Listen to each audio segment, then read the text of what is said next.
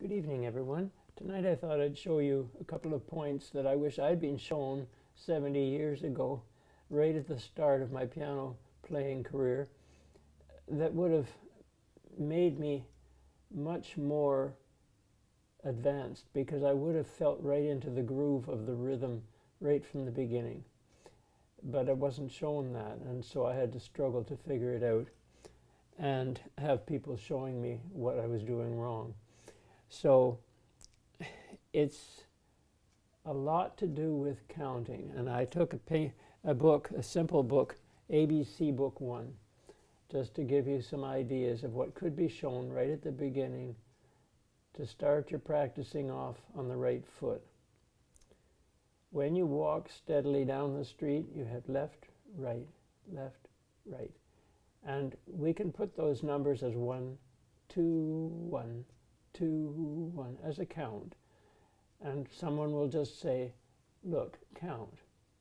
You're not counting.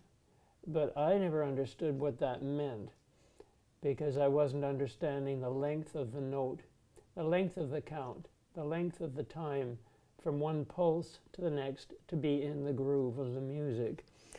So if you can understand left, right, left, right, and then put a micro count of something in between. One and two and so one two is left right. And then put the micro count and say one and two and one and two and one. Then all of a sudden you realize you can't cut the, the and short even if you're holding it through from the one to the and and the and to the two so if I take a simple piece like this, oh, and the other thing is, is the pulse. In something as simple as 2-4 time, that means two beats to the bar, and the quarter note gets the beat. If you can feel the one as not being forced, because the music makes it already sound the strong beat. So you don't want to feel one, two, one, two.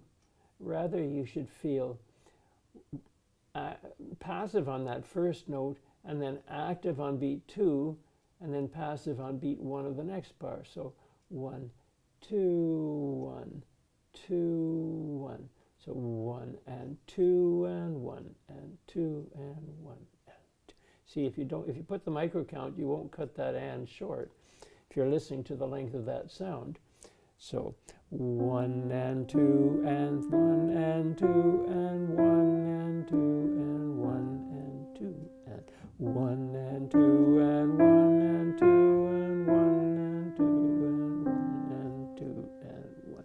The other thing is if you can understand that the hammer is coming up to make the wire have a wave like a skipping rope right to the back of the piano because that wire vibrates at different frequencies. It doesn't just vibrate at the fundamental, say 440 vibrations in a second. It's also vibrating at 880, and it's it, it has the fifth, and it has the, the major third. All these little divisions that are also singing. So when the damper pedal's down, all those colors come out because all the other notes that have those frequencies start up under sympathetic vibration by sympathetic vibration and make the piano really sing. And if I had been shown right at the start that the reason I don't want a soft finger is because I have to be able to sink in, flop down, and then draw the hammer up into the wire, then I give my finger a purpose, not just play this or play heavy or play light. It makes you think differently. You have to start to listen. If you want a tender sound, if I want a tender sound, I can't go. I.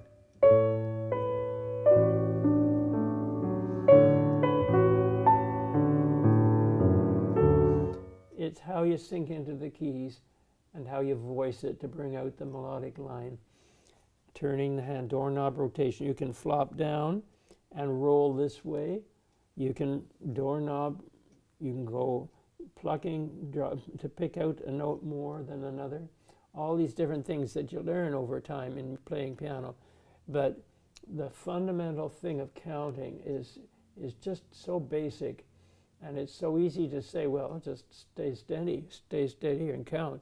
But think of walking and how steady you can walk. But think of the length of each stride. Think of the length of time that note is happening. And then micro count it and put both sides of that microcount into play. And suddenly you're going to start to feel when you do that rhythm thing of uh, active, passive, active, passive, that kind of thing as well, you're going to start to listen to it for a pulse and then shape the phrase and go somewhere, shape it and, and arrive at a point and, and, and at the end of the phrase, take a breath and start to sing it again. So if it's 2-4 time and it's just going down and back up, one, two, one, two, one, two, one, two, one, two, one, two, one, two, one. You see, you can bend the time and stretch a little more expressively at the end of the phrase and things like that. Starts to make the music much more worth listening to instead of it just just a bunch of notes. It's not, not nearly as interesting. So, and when these simple books, they start to combine quarters and halves, you suddenly realize if half note's twice as long as a quarter, and you're micro counting to the eighth, then you've got four eighths in each in each half note. So one and two and one and two and you see da da da da and the and at the end has to have its full length of time so one and two and one and two and one and two and one